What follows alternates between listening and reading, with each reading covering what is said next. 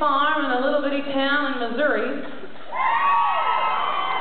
And there's seven kids in my family, two boys and then five girls. And I'm the oldest girl, and if any of you grown up on a farm, you know that's a lot of hard work,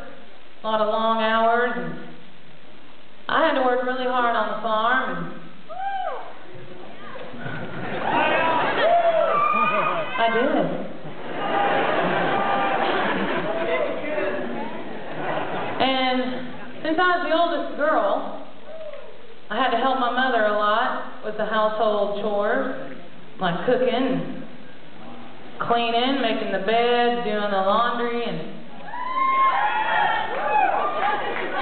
also had to hang the clothes out on the line.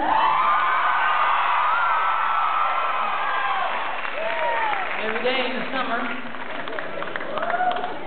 And sometimes boys would drive down our long driveway and redneck, beat up, pickup truck.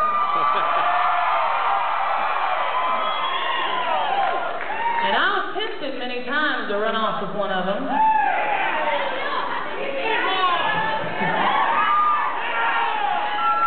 But I never did. The young lady in this next song did.